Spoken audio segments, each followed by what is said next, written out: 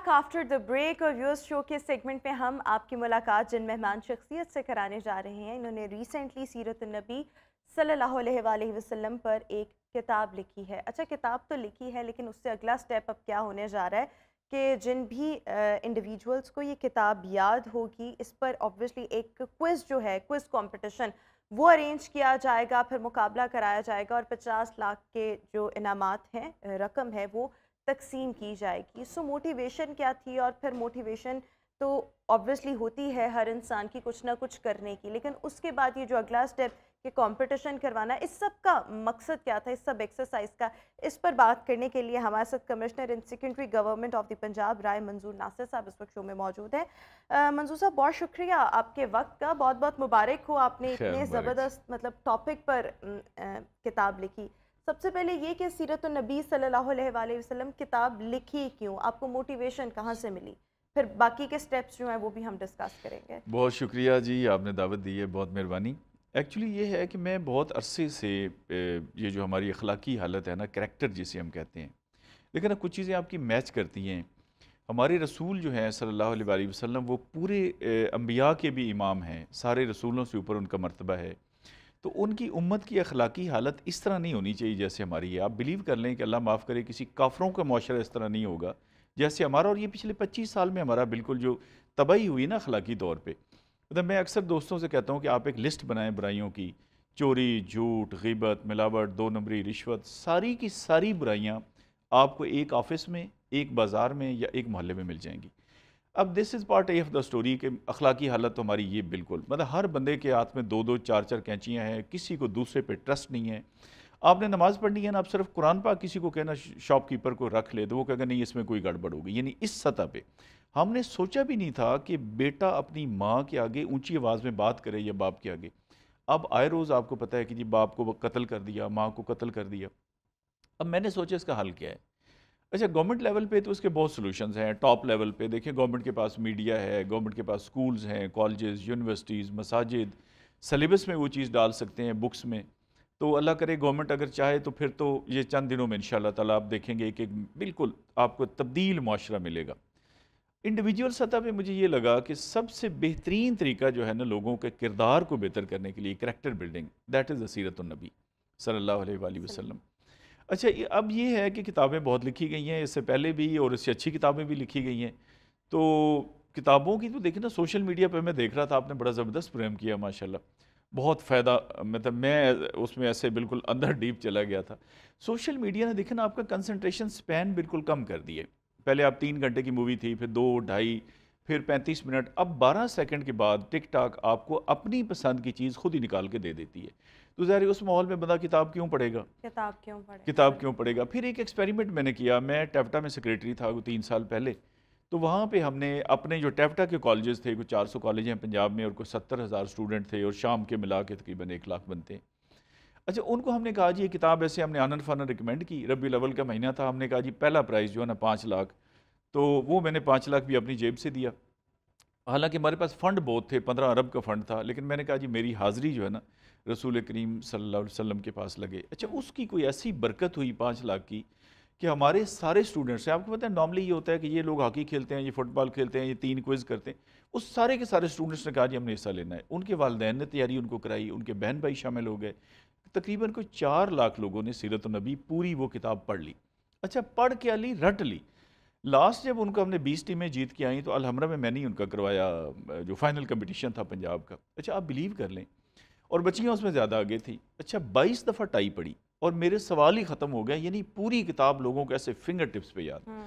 फिर मैंने थोड़े मुश्किल सवाल करके ना जैसे होता है ना सवाल में टेढ़ापन जान के शामिल करना कि जी फ़लाँ साहबी का फ़लाँ साहबी से क्या ताल्लुक था और दोनों का कबीलों का नाम बताया तब जाके वो फ़र्स्ट सेकंड थर्ड का फैसला हुआ and you will be happy to listen कि खुशाब की दो बच्चियाँ थी जिन्होंने उसमें टॉप किया हम्म। अच्छा वहाँ से मुझे आइडिया हुआ कि अगर हम एक अच्छा इंसेंटिव देते हैं लोगों को किताब के साथ तो फिर ये पचास लाख के प्राइजेज हमने साथ रखे। लेकिन देखें हर कोई ऐसे नहीं कर सकता यानी हर कोई ये अफोर्ड भी नहीं कर सकता या हर किसी का ध्यान यानी आपके लिए अखलाक एक प्रायोरिटी होगी।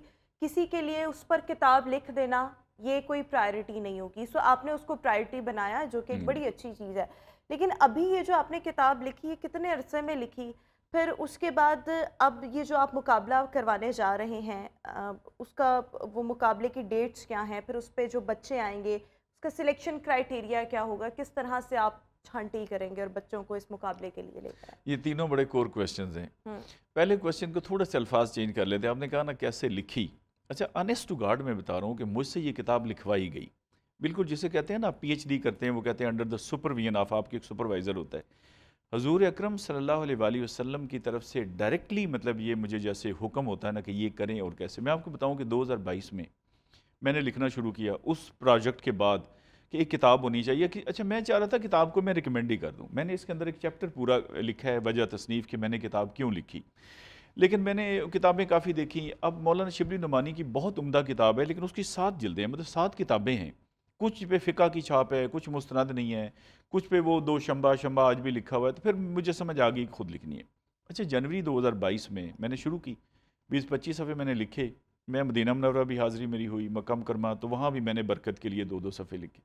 आई केम बैक और उसके बाद 2022 पूरी मेरी ऐसी पोस्टिंग रही कि मैं सेक्रेटरी ट्रांसपोर्ट उसके बाद सेक्रेटरी दो दफ़े मैं D G anti corruption Punjab लगा, फिर मैं सेक्रेटरी स्पेशल एजुकेशन फिर सेक्रेटरी इरीगेशन अच्छा इरीगेशन में कोई टाइम मुझे मिल सकता था दो तीन घंटे, वो फ्लड आ गया।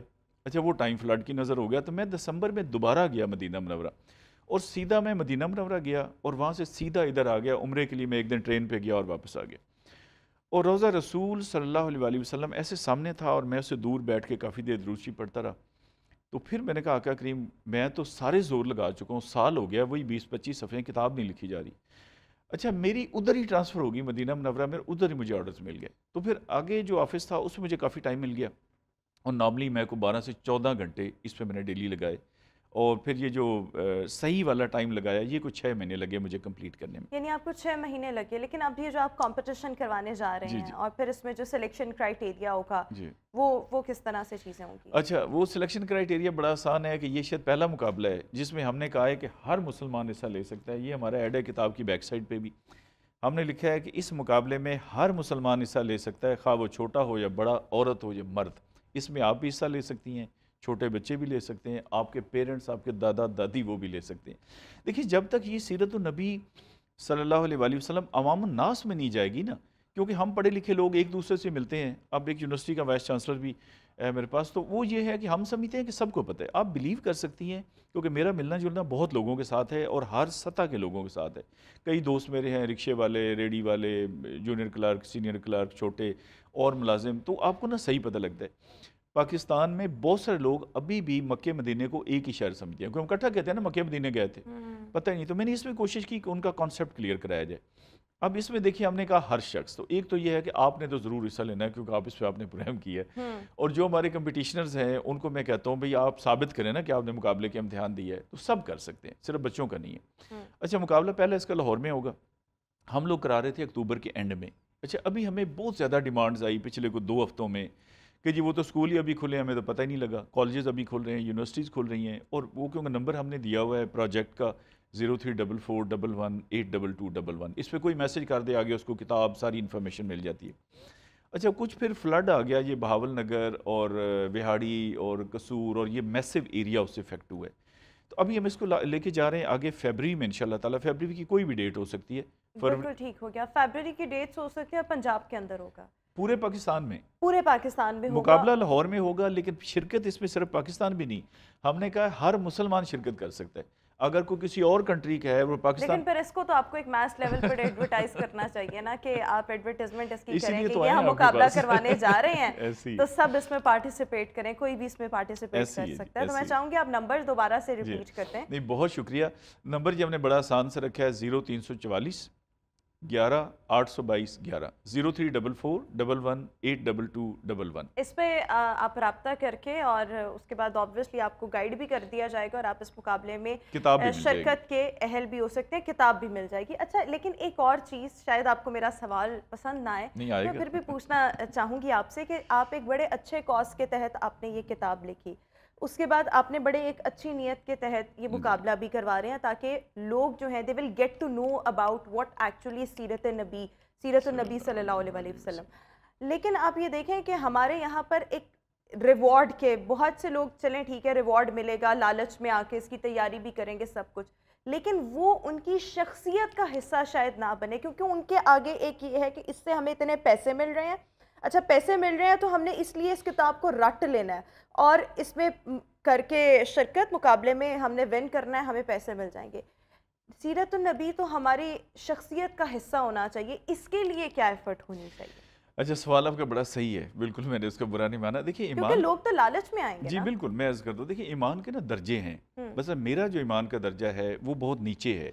अब मेरा साहबा कराम वाला ईमान तो नहीं हो सकता ना या उनका पैगम्बरों वाला तो वो कैटेगरीज हैं। जैसे तैतीस पे बंदा पास हो जाता है, लेकिन third division second division first day फिर टॉप इस तरह करके ईमान के भी दर्जे और अल्लाह ताला ने फरमाया ना कि अगर आप 51 परसेंट नंबर ले लेते हैं तो आपको जन्नत में भेज दिया जाएगा। इसका मतलब क्या है कि 49 परसेंट की वहाँ भी माफ़ी है।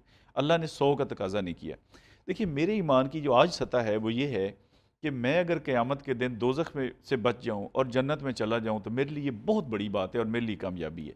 इससे एक ईमान का ऊपर दर्जा है। वो कहते हैं कि हमें जन्नत दोजख की ज़रूरत ही नहीं है।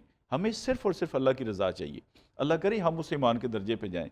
अच्छा वाशिंग मशीन में आप ऐसे करें कि एक दिन आप दो आयात पढ़ के कपड़े डालें और एक दिन दो ऐसी गंदी बातें करके डालें, वो धो के निकालेंगी। दोनों सूरतों में कपड़े साफ़ हो जाएँगे। ये वाशिंग मशीन है मुसलमान के लिए। ये हो ही नहीं सकता कि यहाँ से आप शुरू करें और पेज नंबर चार सौ अठासी तक बंदा जाए और उस पर असर ना हो। देखिए, बुनियादी तौर पर जो हमारे अंदर ये कलमा है ना, इससे तो सब धोया हुआ है ना। हम पैदाशी मुसलमान हैं ये बाद में हुआ है तब भी कोई फ़र्क नहीं। कलमे ने आपको साफ़ कर दिया। अब देखें ना जैसे जूते पे थोड़ी बहुत डस्ट लग जाती है गाड़ी पे लग गई तो उसको हम साफ़ करते हैं तो वो चमक चमक हमारे अंदर है। ये मुमकिन ही नहीं है कि ऐसा हो जाए लेकिन अगर हम देखें अगर हम हम आज अपने माशरे में बदहाली की बात करें करप्शन बहुत ज़्यादा है हर बंदा परेशान है मखलाकियात की भी बात करते हैं। लेकिन मुझे लगता है हम सिर्फ़ करते ही हैं जब हम सब की प्रैक्टिकल इम्प्लीमेंट करने की बारी आती है ना तो हम शायद उतना बढ़ चढ़ हम बातों में बहुत आगे होते हैं, लेकिन हम उस तरह से प्रैक्टिकली स्टेप नहीं ले पाते। या हम अपने सबॉर्डिनेट्स को, या अपना कहीं ना कहीं हम बता रहे होते हैं कि हम कौन हैं। तो ये चीज़ें हम अपने माशरे से किस तरह से इसका ख़ात्मा किया जा सकता है, या ख़ात्मा नहीं, एक एफ़र्ट की जा सकती है। कौमों को वही कौमें तरक्की करती हैं ना, जिनके अखलाक भी बुलंद होते हैं। हमारे यहाँ पर बद अखलाकी भी बहुत है करप्शन भी बहुत है। तो इन चीज़ों के लिए हमें क्या करना चाहिए? देखिए, इन चीज़ों के लिए बड़ा आसान हल है और वो ये है कि किताब ये पढ़नी चाहिए, क्योंकि इसमें मैंने सीरत नबी सल्लल्लाहु अलैहि वसल्लम का हर टॉपिक के बाद लिखा है कि इससे हम क्या सबक सीख सकते हैं। यानी उससे मैंने एक्सट्रैक्ट करके चीज़ बंदे के सामने, अब देखें ना, गजवा बदर है। गजवा बदर में और पानीपत की जंग में और उन्नीस सौ पैंसठ की जंग में या किसी भी जंग में कोई फ़र्क नहीं है।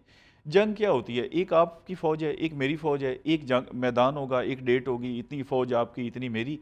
आपकी फ़ौज जीत गई इसलिए कि ये वजूहत थी और मेरी फ़ौज हार गई। हर जंग में यही चीज़ें होती हैं।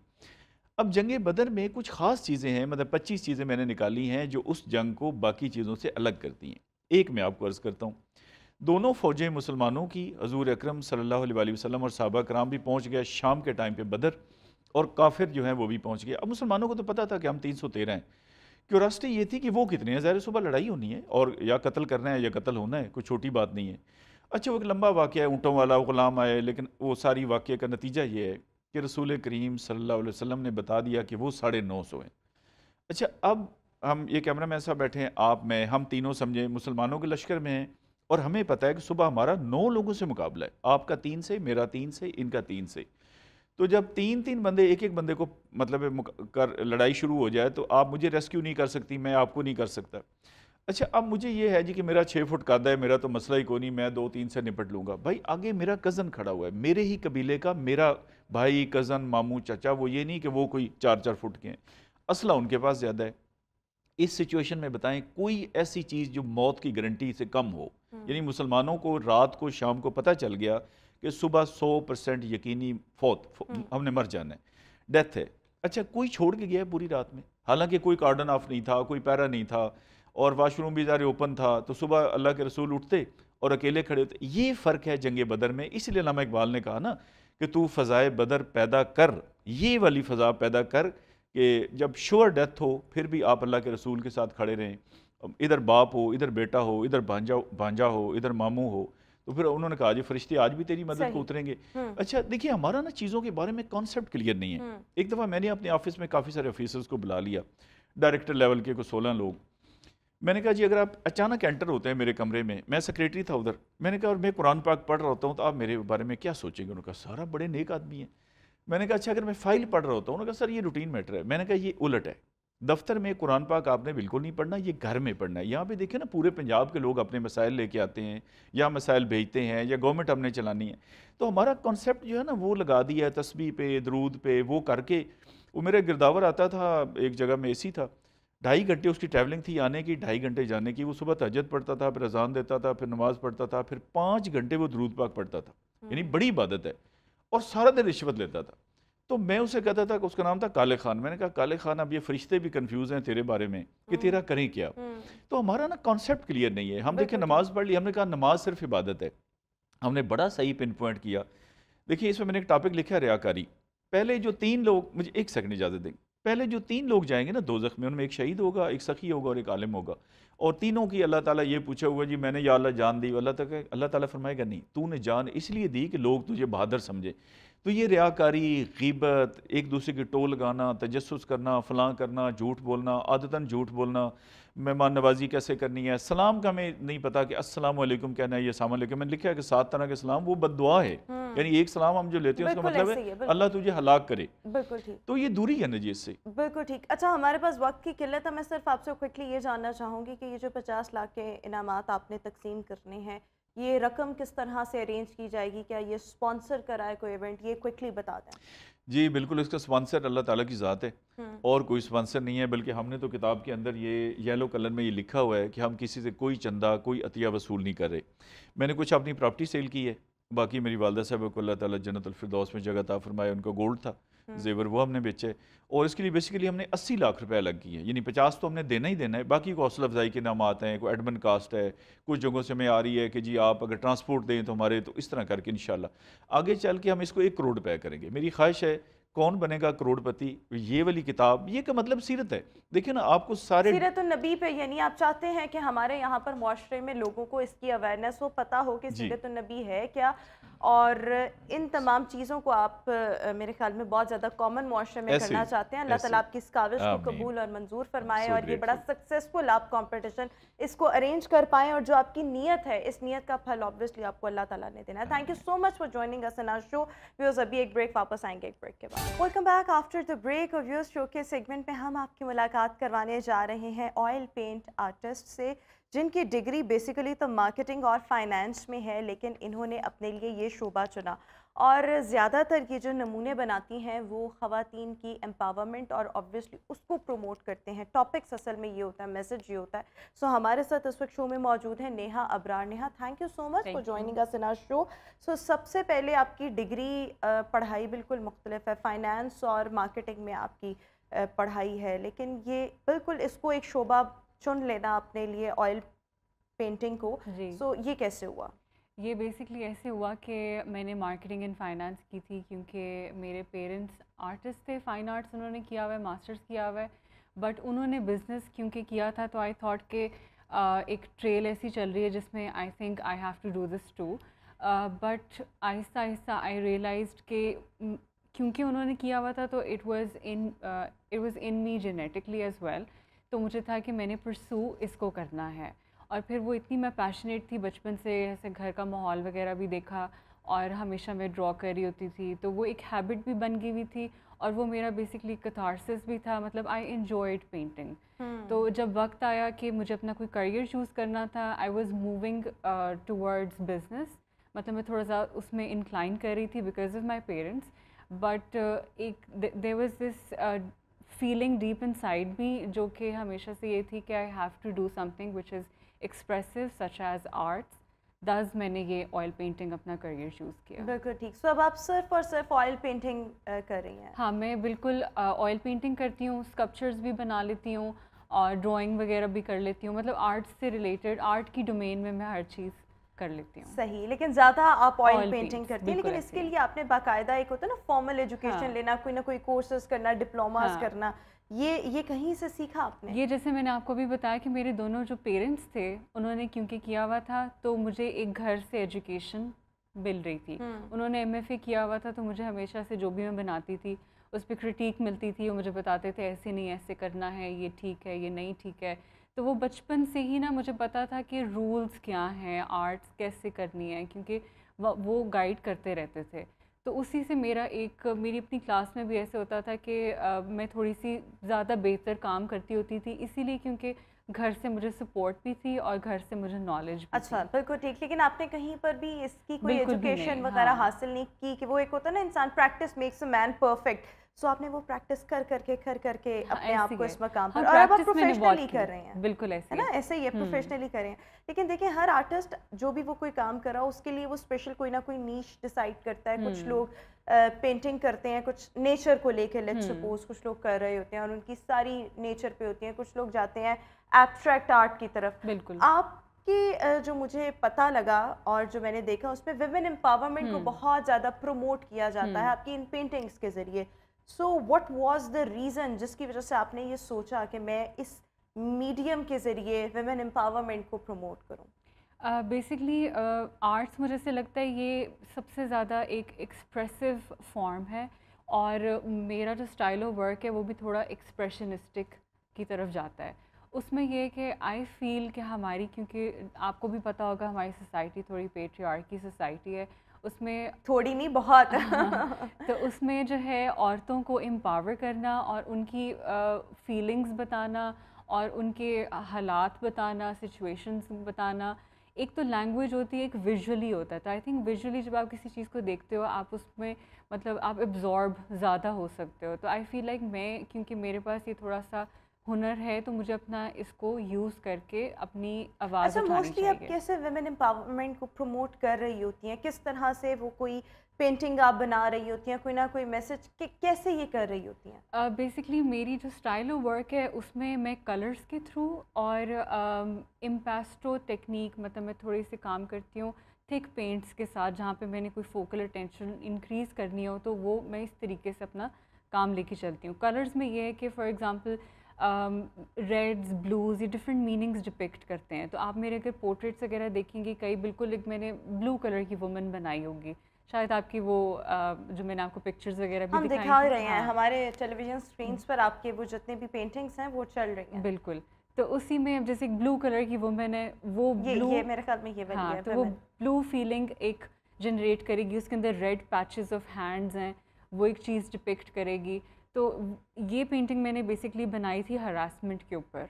तो इस तरीके से मैं अपने कलर्स के थ्रू सब जो सब्जेक्ट्स में चूज़ करती आप अपनी फीलिंग्स को भी एक्सप्रेस कर रही होती हैं। अच्छा देखिए आपके पास जो क्लाइंट्स आते होंगे ऑब्वियसली अब आप इसको प्रोफेशनली लेकर चल रही हैं। हम्म। वो अपनी डिमांड बताते हैं या जिस तरह से आप वेमेन एम्पावरमेंट को प्रमोट कर रही हैं so this was just for your own self आप खुद एक्सप्रेस कर रही थी लोगों की जानब से भी ये डिमांड आ रही होती है कि हमें इस तरह से पेंटिंग चाहिए जिसमें ख़वान को एम्पावर्ड दिखाया जा रहा हो या उनके इश्यूज़ पर आवाज़ हम्म। उठाई जा रही हो। सो लोगों अच्छा, का रुझान। ऐसे होता है कि एक आर्टिस्ट की ना दो तरह की ज़िंदगी होती है। एक ही होती है कि जिसमें वो अपना काम करता है जिसमें वो बोल्ड इनफ हो सकता है। दूसरी ज़िंदगी होती है जिसमें उसने बहुत रिस्ट्रिक्टेड रहना होता है। उसको हम कहेंगे वो कमीशन वर्क कर रहा होता है। जब मेरे पास कोई क्लाइंट अपना पोर्ट्रेट बनवाने आता है ना तो उसमें सबसे ज़्यादा ब्यूटीफुल लगना होता है। hmm. और उसको होता है कि मेरी स्किन भी ऐसी लगे मेरी आँख ऊपर नीचे ऐसे हो गया मेरा ये हो गया वो हो गया। तो उसमें मैं बहुत रिस्ट्रिक्ट होकर काम करती हूँ वो मैं उनके लिए काम करती हूँ। तो वो मेरा काम और जो मेरा ये दूसरा जो अपना काम है उसमें बहुत फ़र्क है। hmm. तो उसमें मैं कोशिश करती हूँ कि बस उनको सेटिस्फाई किया जाए। अगर हाँ कोई मुझे ये इजाज़त दे कि आप मुझे एक्सप्रेस करें आप अपनी तरह से जैसे आप मुझे देखती हैं फिर मैं बोल्ड इनफ हो सकती हूँ और फिर मैं वही अपनी रोड इख्तियार करती हूँ जो मैंने अपनी ओन वर्क में मैं यूज़ करती हूँ बिल्कुल ठीक हो गया अच्छा इस सब के साथ साथ आपकी डेली रूटीन क्या होती है कि इसमें कितना टाइम आपने अपनी इस एक्टिविटी को जो कि किसी ज़माने में एक्टिविटी या हॉबी थी अब तो आपका प्रोफेशन है हम्म। यानी आपने अपने पूरे दिन में इसके लिए अपने प्रोफेशन के लिए पेंटिंग्स हम्म। के लिए कितना टाइम जो है वो स्पेयर किया होता है अच्छा ये एक ऐसी चीज़ है कि आई थिंक करियर इंसान को वो चूज़ करना चाहिए जो कि वो, जिससे वो प्यार करता है। तो क्योंकि मुझे पसंद है आर्ट्स मैं इसको बहुत ज़्यादा आर्ट्स भी दे सकती हूँ। मेरा यूजली ये होता है कि अगर आप एक डिसिप्लिन के साथ आप अपनी रूटीन बना रहे हो तो उसके अंदर आप सुबह उठे हो, आप काम करते रहो। मैं उस तरीके से five six hours eight hours भी काम कर लूँगी। कई दफ़ा पूरी रात भी मैं काम अगर बारह बजे बैठी हूँ सुबह भी हो गया मैं काम कर रही हूँ।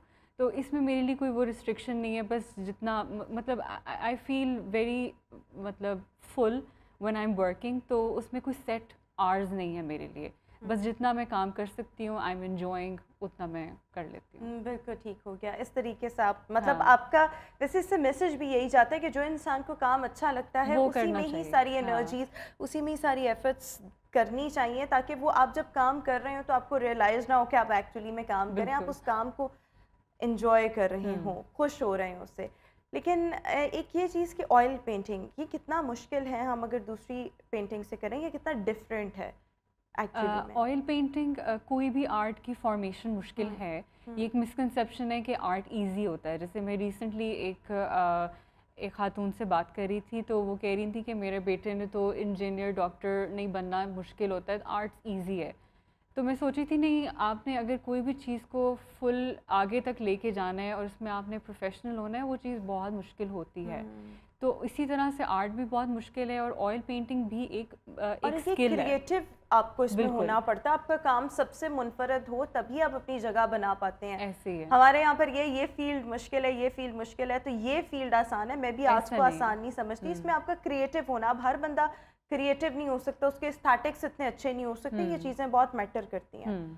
सो यस अच्छा इस सब के साथ साथ आपको एक पेंटिंग बनाने में अ, कितना वक्त लग जाता? है शुरू शुरू में मुझे बहुत ज़्यादा वक्त लगता था क्योंकि मेरी इतनी प्रैक्टिस नहीं थी। तो कई दफ़ा मैं ट्वेंटी डेज़ भी एक पेंटिंग को लगा देती थी।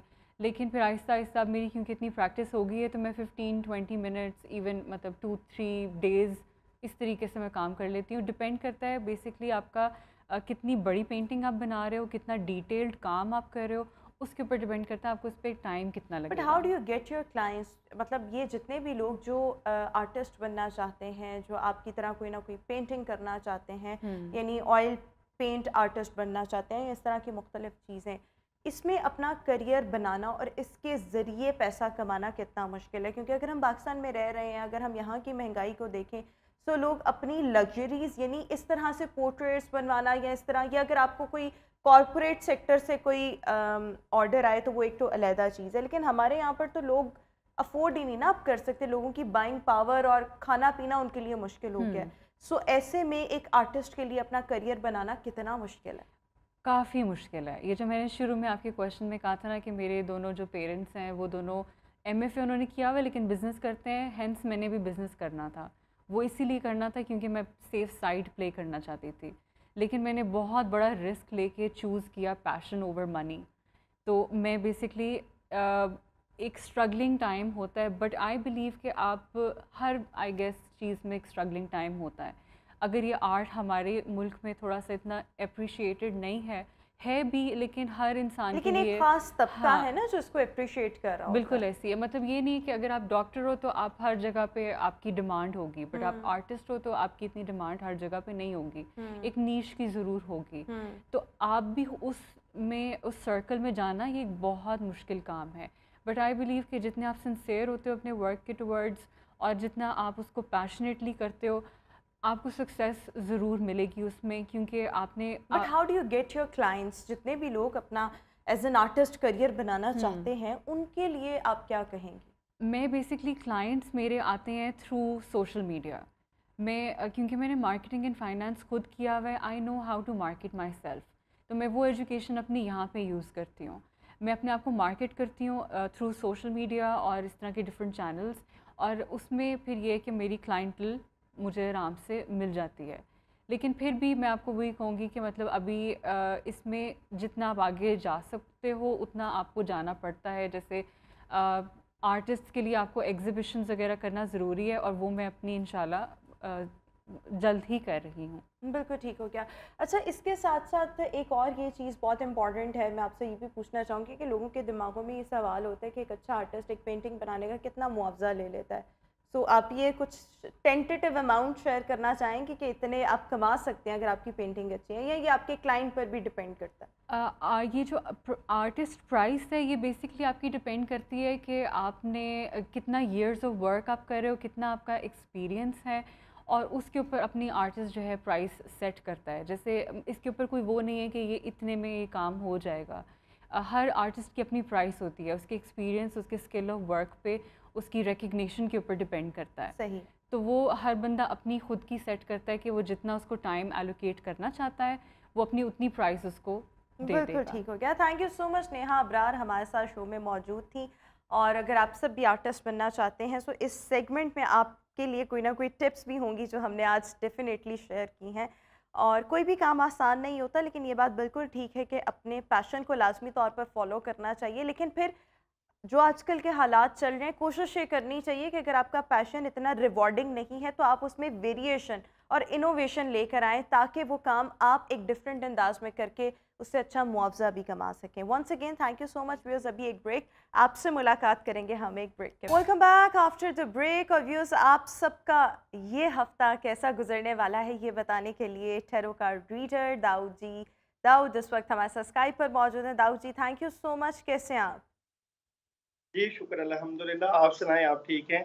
अल्हम्दुलिल्लाह मैं भी बिल्कुल ठीक हूँ। एरीज से स्टार्ट कर लेते हैं। बताएँ एरीज का ये हफ़्ता कैसा गुजरने वाला है?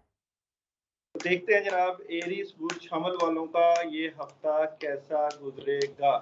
तो एरीज बुर्ज हमल वाले इस वीक में बहुत ज़बरदस्त किस्म की परफॉर्मेंस करने वाले हैं। कोई एग्रीमेंट साइन हो सकता है किसी से पार्टनरशिप कर सकते हैं। मामला बड़े ज़बरदस्त रहेंगे नया काम आ रहा है हालात में बड़ी ज़बरदस्त की बेहतरी है इनका रवैये इनके मामलात इनके अजवाजी मामला तमाम मामला में बड़ी ज़बरदस्त किस्म की मदद मिल रही है।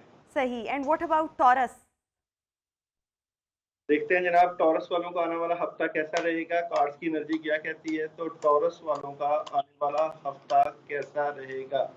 तो टॉरस वाले इस वीक में एहतियात करें बहुत सी चीज़ों में बदलाव चाह रहे हैं। काम इनके पास आएँगे जज्बाती नज़र आते हैं।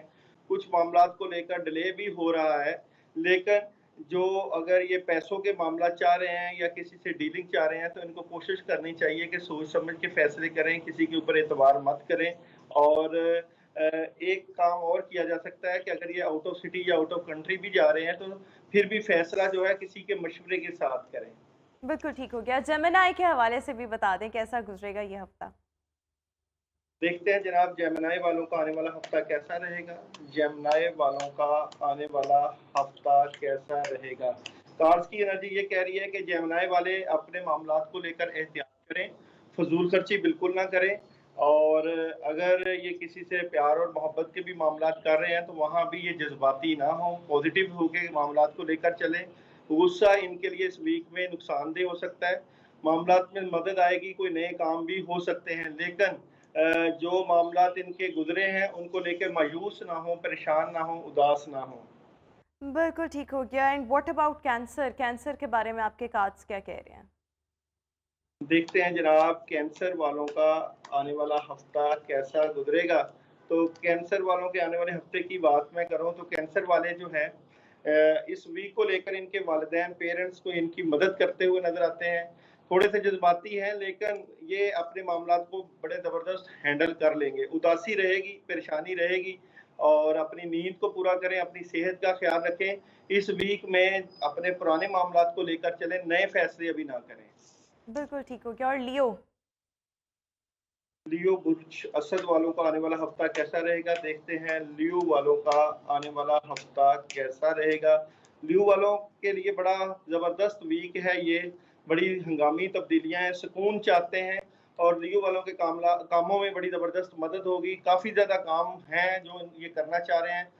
फैमिली से मुतलका, दवाजी ज़िंदगी से मुतलका बड़ी ज़बरदस्त किस्म की पॉजिटिव तब्दीलियाँ हैं और लव लाइफ से मुतलका जो है ये एहतियात करें। किसी को अपनी ऐसी बातें ना बताएँ जिसकी वजह से बाद में इनको नुकसान हो। वर्गो विरगो वालों का आने वाला हफ़्ता कैसा गुजरेगा तो देखते हैं। विरगो, बुर्ज सुमला वालों के आने वाले वीक की स्टोरी ऑफ़ द वीक तो विरगो वाले अपने मामला को लेकर थोड़ा सा कंफ्यूज नज़र आते हैं। दिल की बातें बिल्कुल किसी को ना बताएँ और टेंशन में है डर खौफ है मामला में थोड़ी सी प्रॉब्लम है। लेकिन ये problem end of the week में ज़बरदस्त हो जाएगी, बेहतर हो जाएगी, यानी कि मामला में बेहतरी होगी। और जो ये चाहते हैं जो इनकी ख्वाहिशें हैं वो पूरी हो जाएँगी। और कोई बड़ा फैसला करते हुए इस वीक में नज़र आते हैं। एग्रीमेंट कोई नया मिल सकता है हालात में ज़बरदस्त किस्म की पॉजिटिविटी नज़र आती है। बिल्कुल ठीक है। लिब्रा लिब्रा वालों का आने वाला हफ़्ता कैसा रहेगा? तो लिब्रा बुर्ज मेजान वालों का आने वाला हफ़्ता कैसा रहेगा? देखते हैं जी। लिब्रा आने वाले वीक की स्टोरी ऑफ़ दी वीक तो लिब्रा वाले बहुत ज़बरदस्त नज़र आते हैं इस वीक में। मामला में ज़बरदस्त मदद पैसे आ रहे हैं वाइट कलर इनका इस वीक में फेवरेट है। तो मामला को बैलेंस कर रहे हैं। सुकून है का, तमाम कामों में काफ़ी ज़्यादा काम करने वाले हैं इस वीक में और इन कामों में इनकी ज़बरदस्त मदद होगी। स्टार की पोजीशन बड़ी ज़बरदस्त नज़र आती है। स्कॉर्पियो के बारे में भी बताइएगा। स्कॉर्पियो बुर्ज अक्रब वालों का आने वाला हफ़्ता कैसा रहेगा? तो देखते हैं स्कॉर्पियो वालों का आने वाला वीक कैसा रहेगा। तो स्कॉर्पियो आपके रिलेशन में बड़ी मदद होगी क्लैरिटी मिल जाएगी, जो मामला आपके दिमाग में कंफ्यूज कंफ्यूजन कर रहे थे, आपको कंफ्यूज कर रहे थे, वहाँ क्लैरिटी मिल जाएगी, बड़े फैसले हो रहे हैं और आपके मामला अच्छे हो रहे हैं। कोई दो तीन काम आपके और मजीद बेहतर हो जाएँगे, कोशिश कीजिएगा। लेकिन अजदवाजी मामला या रिलेशन में थोड़ी सी प्रॉब्लम है, बाकी तमाम मामला आपके ज़बरदस्त रहेंगे। बिल्कुल ठीक हो गया और सेजिटेरियस के बारे में भी बताते हैं देखते हैं जनाब सेजिटेरियस वालों का आने वाला हफ़्ता कैसा रहेगा? सेजिटेरियस वालों के आने वाले वीक की story of the week Sagittarius वालों के लिए इस वीक में बहुत ज़्यादा काम है, जिम्मेदारियाँ हैं, कामों में मसरूफ नज़र आते हैं और कोई नई ऑप्शन मिलती हुई नज़र आती है। बड़ी सॉलिड कोई खबर, सफ़र पेश आ सकता है और हालात में बड़ी आसानियाँ डबल माइंडेड बिल्कुल ना हो और काम जो भी आ रहे हैं वो हो जाएँगे और घरेलू माहौल में भी बड़ी पॉजिटिव तब्दीलियाँ नज़र आती हैं। सही सही। और कैप्रिकॉन के बारे में भी बता दें।